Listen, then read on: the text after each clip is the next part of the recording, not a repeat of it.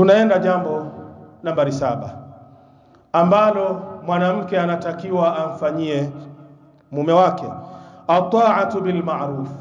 Mwanamke anatakiwa amtii mume wake katika yale mambo yaliyokuwa mema. Fazauju huwa almas'ulu an usratihi amama Allahi fil akhirah, baba mwenye nyumba, mwanamume au mume ndani ya nyumba, yeye ndiyo masulia katika familia yake mbele ya Allah subhanahu wa ta'ala siku ya Kiyama. Lazima atakwenda kuulizwa katika familia yake. Ndiyo maana Mtume sallallahu alayhi wasallam kwenye hadithi alisema, kullukum ra'in wa kullukum mas'ulun an ra'iyati, kila mmoja miongoni mwenu ni mchunga na kila mmoja ni masul, atakwenda kuulizwa kwa kile ambacho anachokichunga. Kwa hiyo baba mwenye nyumba yeye ni masulia juu ya familia yake. Watoto wakiwa sawa, basi nyumba yako imekuwa sawa na umesalimika mbele ya Allah. Mke wako akiwa sawa, wewe utakuwa sawa, umesalimika mbele ya Allah. Lakini ikiwa ni kinyume cha hapo, jua kuna maswali utakwenda kuyajibu mbele ya Allah subhanahu wa ta'ala. Wa amama alkhalqi fi dunya, lakini pia ni masulia mbele ya viumbe katika dunia hii. Lolote linalotokea kwa mtoto wako, lolote linalotokea kwa mke wako, wewe ndio masuhulia juu ya familia yako kama ile. Hakuna mtu mwingine ambaye ataulizwa. fa idha amara zaujatahu biamrin ataat, mwanamke anatakiwa mume wake anapomuamrisha kufanya jambo lililokuwa jema, basi anatakiwa amtii mume wake.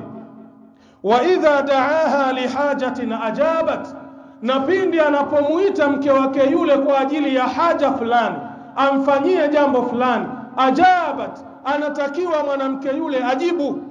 Wa idha ghaba anha lisafarin hafidhat, na pindi mume wake anapokuwa amekosekana kwenye nyumba yake, basi mwanamke anatakiwa ajistiri, ajihifadhi, ajilinde, asiweze kutoka nje kwenda kuzini, ajihifadhi kwa ajili ya Allah subhanahu wa ta'ala. Watilka sifatu salihat, na hizo ndiyo sifa za wanawake waliokuwa wema wa hadhihi taa, na hili jambo la mwanamke kwenda kumtii mume wake, muqayyadatun fi ghairi maasiya, limefungwa kinyume na maasi. Yani maana yake amtii mumewe katika yale ya sawa sawa, lakini yasiyokuwa ya sawa, mwanamke huyu hafai kumtii mume wake na wala hapati dhambi katika hilo. Mfano, mume wake ni mlevi ikafika kipindi labda cha kulewa pombe yake saa kumi kumi na moja jioni, akamwambia mke wake, nahitaji ukaniletee bia, nahitaji ukanunulie pombe fulani. Mwanamke huyu hafai kumtii mume wake, na akiacha kumtii hapati dhambi, bali anapata thawabu. Sio kwa sababu oni mume wangu, nitafanyaje bwana, twaambiwa pepo zetu ziko chini ya nyayo za waume zetu. Aa, haiko hivyo. Lau kama yule mwanamume anakuamrisha katika jambo ambalo sio sahihi, mwanamke unatakiwa uachane na hilo jambo. Hata kama atakupiga ngumi, atakuchinja, wewe utakuwa umekwenda amama Allah ikiwa unatetea kumtii Allah subhanahu wa ta'ala, lianna haqa Allahi kwa sababu haki ya Mwenyezi Mungu Subhanahu wa Ta'ala muqaddamun ala kulli haqqin, inatangulizwa juu ya kila haki. Inaangaliwa haki ya Allah kwanza, ikiwa ni sahihi lile alilokuamrisha mbele ya Allah lifanye, lakini ikiwa sio sahihi, mwambie ana bariu mink, mi niko mbali na wewe katika hilo. Qala Rasulullah sallallahu alayhi wasallam Amesema mtume wa Allah, rehma na amani zimshukie yeye, la ta'ata li makhluqin fi ma'siyati al-khaliq, hakuna kumtii kiumbe kumuasi aliyeumba. Maana yake haufai kumtii mwanadamu ukamkosea Allah jalla fi ula, ambaye aliyemuumba huyo mwanadamu. Hufai.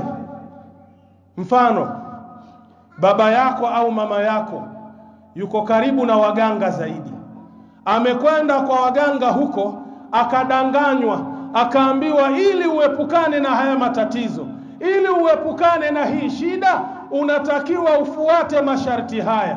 Sharti la kwanza, unatakiwa ulete kuku mweupe. Sharti la pili, ulete kuku mweusi. Sharti la tatu, ulete mbuzi mweupe, lakini ana bato jeusi katika kichwa. Na hizi si ni pesa? Wewe mzazi, si hauna pesa?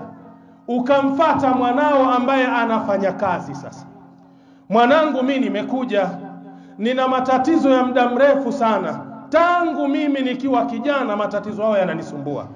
Nimejaribu kuzunguka mahospitali, nimeteseka, nimeangaika nimetapeliwa, lakini nasikia kuna mganga ambaye hey, huyo ni gwiji, hili tatizo nikienda kwake limepona. Amenituma vitu. Ehe, kakutuma vitu gani? Amenituma mbuzi mweupe mwenye bato jeusi. Ehe, kuku mweupe na kuku mweusi. Haya baba, watakaje? Mwanangu, siwajua, sina kazi, sina bazi, kwa hiyo nakutegemea wewe. Naomba pesa angalau nikanunue baba yako nikatibiwe. Watakiwa umfahamishe baba lile analolifanya ni shirki, kwa sababu Mtume sallallahu alayhi wasallam anasema nini? man ata arrafan au kahinan fasaddaqahu bima yaqul fakad kafara bima unzila ala Muhammad, yoyote ambaye atamuendea mganga ambaye anadai anajua elimu iliyofichika akamkubalia yale ambayo atakayomwambia, kama alivyotumwa mbuzi, kuku, akamswadikisha kwa yale ambayo atamwambia, Mtume anasema fakad kafara bima unzila ala Muhammad, hakika mtu huyo amepinga na amekufuru kile alichoteremshiwa mtume. Na mtume kateremshiwa nini ya jamaa? Alquran. Na Qurani inasemaje? innahu man yushrik billah Allahu alayhi aljannata wa ma'awahu an-nar wa ma lidhalimina min ansar yoyote mwenye kumshirikisha Allah, Allah anachukua ahadi akisema huyo amemuharamishia pepo na siku ya Kiyama atashuka ndani ya moto wa Jahannam. Na wale wenye sifa ya kudhulumu, yani ukaacha haki ambayo Allah ndiyo anastahiki kupewa haki ile, ukaenda kuipa haki ile kwa kiumbe chengine ambaye ni mganga, mtu wa aina hiyo siku ya Kiyama hatopata mtetezi wa kumtoa katika jambo hilo. Unajaribu kumwelezea mzee wako, lakini yule mzee akasimama imara, akamwambia, mwanangu, yote nimeyasikia, lakini ameingia kulia, yametoka kushoto. Nahitaji pesa za mbuzi, nahitaji pesa za kuku mweupe na mweusi. Mwambie baba, nimekueleza kwa upole, lakini kama wataka nguvu, pesa ninazo na sikupi. Baba akikwambia hauna radhi yangu fi dunia wal akhira, maana ndiyo silaha wazazi wanayoitumia katika kuyafanya yaliyokuwa ya haramu, mwambie wa in jahadaka ala an tushrika bi ma laysa laka bihi ilmun fala tuti'huma wa sahibuhuma fi dunya ma'rufa. Mwambie Allah anasema nini? Wazazi wawili watakaposimama imara na kidete ili unikosee mimi Mola wako unishirikishe, Allah anakwambia usiwatii wazazi hao wawili kwenye hilo, lakini usiwapige vita. Wasahibuhuma fi dunia maarufa, ishi nao katika dunia kwa wema. Usiwapige vita, ishi nao katika dunia kwa wema. Sawa, hauna radhi yangu, fulani ndo atakuwa na radhi yangu, mwambie haya, mpe hiyo radhi. Radhi ya Allah ni bora kuliko radhi ya nani? Ya mzazi wako. Kwa hiyo katika jambo la kumfanyia mtu taa, katika jambo la kumfanyia mtu jambo analolitaka, lazima liwe ni jambo la kisheria, likiwa ni jambo la makosa mueleze, kakataa, inni bariu minka. Ndiyo haya maneno Mtume sallallahu alaihi wasallam anayoyasema, la ta'ata limakhluqin fi ma'siyati alkhaliq, hakuna kumtii kiumbe ukamuasi aliyeumba ambaye ni Allah. Hadithi hii ni sahihi, kaipokea Sheikh Albani, ameisahihisha fi sahihi al-Jami kwa nambari 7520 wa fi riwayatin ukhra, katika riwaya nyingine ya hii hadithi Mtume sallallahu alayhi wasallam anasema innama ta'atu fil ma'rufi. Sikiliza maneno hayo, innama ta'atu fil ma'rufi, hakika si vinginevyo. Ni vipi? Ni hivi, kumtii mtu, kumsikiliza mtu, kumfanyia mtu yale anayoyataka ni katika yale mema peke yake. Rawahu al-Bukhari, hadithi imepokewa na Imamu al-Bukhari kwa nambari 7257. Sheikh Albani kaisahihisha fi sahihi al-Jami, utaipata kwa nambari 7519.